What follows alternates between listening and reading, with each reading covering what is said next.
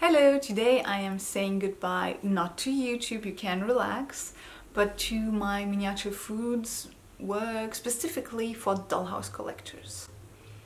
I've been doing miniature food for dollhouse collectors for quite a while. I, I made it for about eight years until last year and it was a very important part of my life. I learned how to sculpt realistically and I also very much enjoyed sculpting, it was fun. However, I was always kind of dissatisfied with my work because I felt it lacked meaning.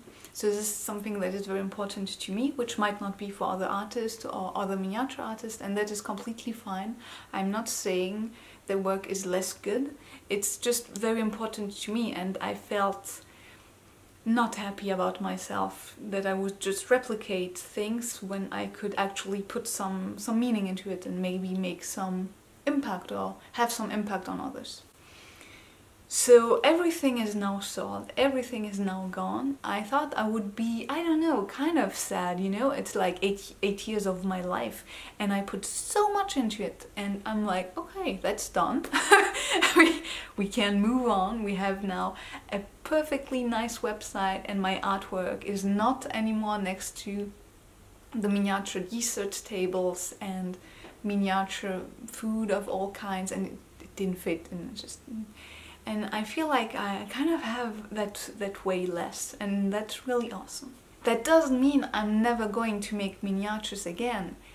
I'm actually making something miniature right now for um, for an upcoming video. Oh, look at this. What's that? It's a tiny room.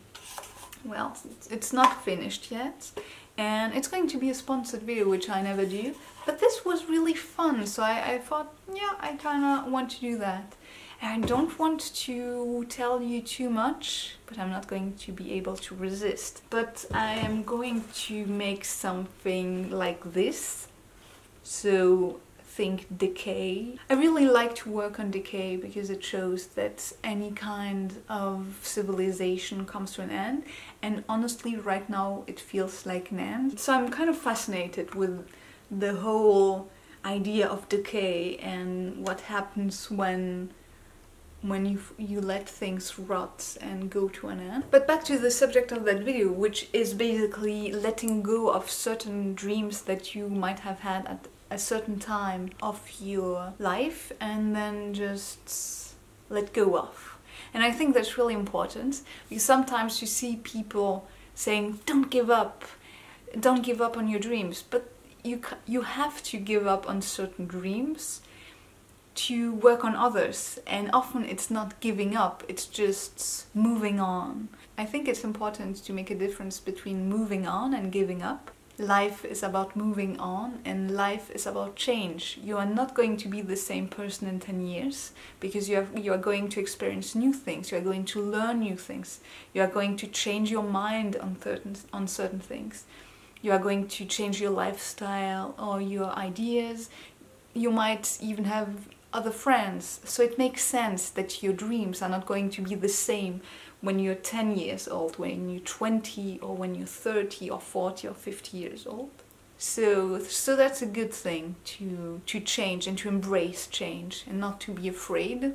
Money can be a problem because when you are working on something, say you're working on dream number one and it's bringing you money and someday you wake up and you look at your life and you don't like it and you feel that it's just not what you want anymore. It, it, it might have been something that you wanted, it, it might have been something for what you worked really hard but you don't want it anymore. It's not what you want, you want something else.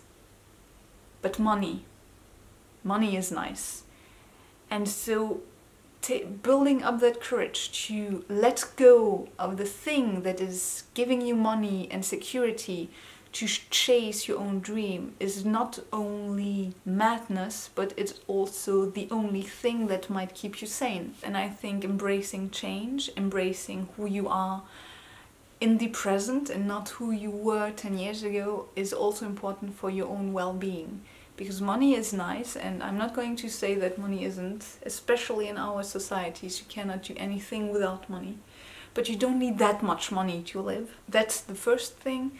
And maybe just plan ahead if you start your life and put money aside so when you want to switch something, you have that cushion so you can do something else and take a risk. Yes, that's all I wanted to say. If you have something to add to that, I would love to hear about your own experience about that. Maybe you you made several changes in your own life. Maybe you gave up on certain dreams. Maybe you moved on maybe maybe you're still not there maybe you're still working on that first dream and you're kind of struggling and you're not motivated anymore so i'd love to hear about that because because actually that's what I prefer on YouTube. I really like the discussion. Don't hesitate and comment below. Usually comment back. So yeah, that's about it. Saying goodbye to dollhouse miniatures, saying hello to other miniature work, sculptures, art thing. Thank you so much for watching. If you like that video, give it a thumbs up, maybe subscribe, and I will see you in my next video. Bye!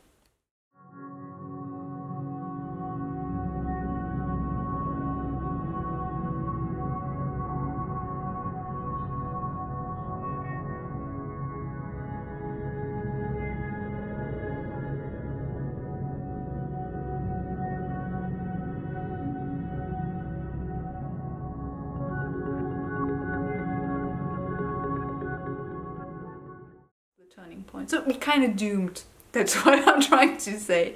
We're doomed. Money can be a bitch.